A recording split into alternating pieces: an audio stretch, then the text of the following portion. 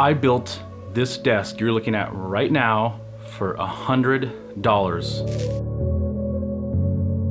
I've been looking for a new desk for my studio for months and everything is just way more money than I want to spend. The idea behind modifying this desk was after I watched an Andrew Masters video. He does these super awesome studio tours and he was in this one studio and the guy had a desk that had kind of an inlet on the backside where he had all of his power strips and cables and things like that and it was a super clean setup. And I looked all over the internet for it and I could not find it. So I figured why not just kind of make something for myself that accomplishes the same thing and on the cheap because you know I don't want to spend unnecessary money. So I came up with this idea to take an existing IKEA desk and modify the back where I can then hang a power strip and have clean cable management versus what my old setup was. My old cable setup with my old desk looked like this. It was disgusting, it was gross, just spaghetti everywhere. And as you can see, this new desk with what I modified on it is way cleaner. And I absolutely love it so far.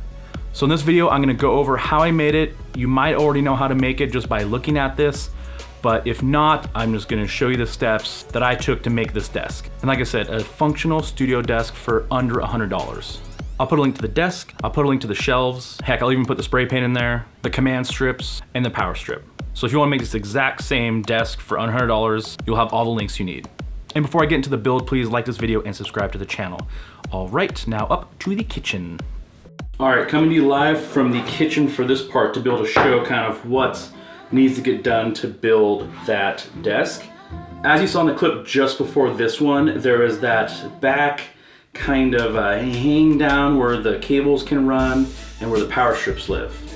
The IKEA desk I'm working off of is a 59 inch wide IKEA desk. As you saw in the video or the clip right before this, there is a back plate on it with the cables where the cable management is taken care of and the power strips. I didn't want to go all the way to the edge on the desk. I wanted to leave a little bit of space where I could run the cables down or up or something like that. I didn't want them flowing off the end. So unfortunately Lowe's didn't have a 47 inch shelf. So I ended up getting two 23.8 inch shelves. So I got two of these and I'll just end up butting them up to each other on the back of the desk.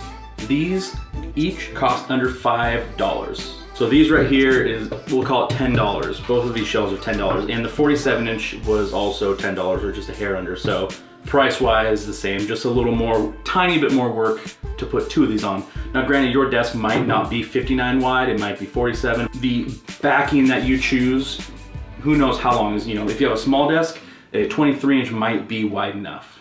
Now at first I was gonna get, you know, some sort of stair edging, kind of like a L canal for the cable management in the back. The more I thought about it, I decided to go with command strips.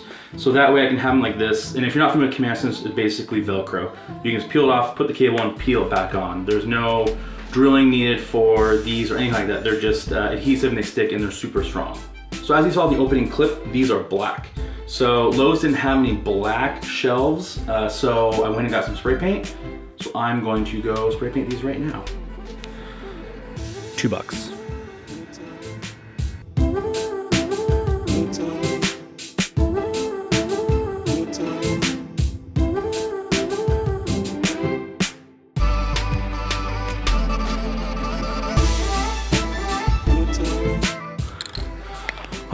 We're gonna go build the desk. All right, real quick rundown of this desk before I go start building it. This is just a $50, less than $50 IKEA desk. They come in multiple different lengths. This one is a 59, as I said before. They also come in 47, I think 36. So depending on your application, you get different sizes of these. And obviously the smaller sizes are cheaper. So again, this one is the 59 inch and it retails for approximately 46 bucks. And that also includes the legs. Another thing that's nice about this is it comes with pre-drilled holes for the legs and the hardware, which is a bonus. So what I'm gonna do after I put this together is I'm gonna make some pilot holes into this desktop and some pilot holes into these shelves and the shelves will hang off it like this. And on those shelves, once they're done and they're attached to this, that is where the cable management is gonna go and the power strips. All right, let's get started.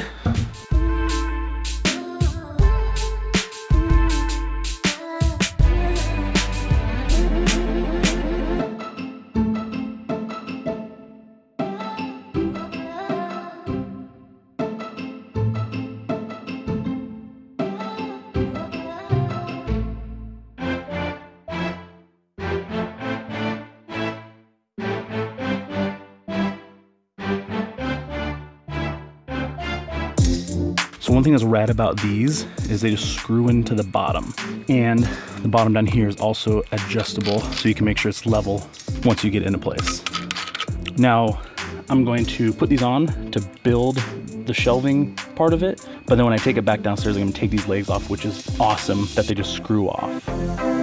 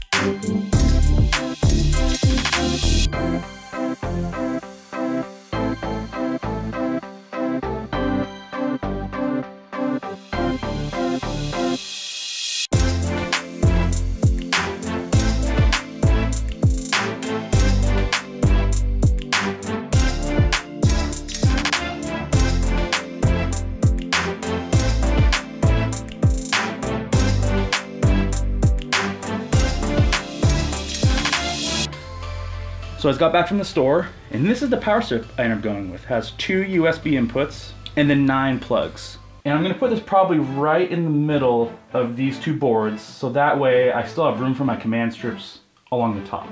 So those are my next two steps on this. I'm gonna hammer them out real quick.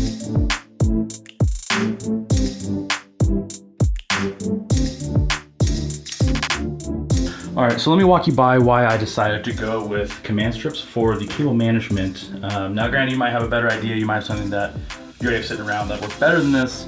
I thought I'd give this a try, see how it works. I've never seen anybody try this before, um, other than just straight Velcro, but this is just slightly different. So if you're not familiar with command strips, it's basically like Velcro. Put it on there. There you go. And it sticks very, very good. You can just peel it right off. So my idea would be to Here's a cable, for example. Put it on in there. There you go. Keep everything managed back here. Run it up tight and high, out of the way. All right, so I've got the command strips on there. I've got the power strip on there. This side, of course, is gonna go against the wall, so rarely are you gonna see this side, so I feel like dinging up's not that big of a deal.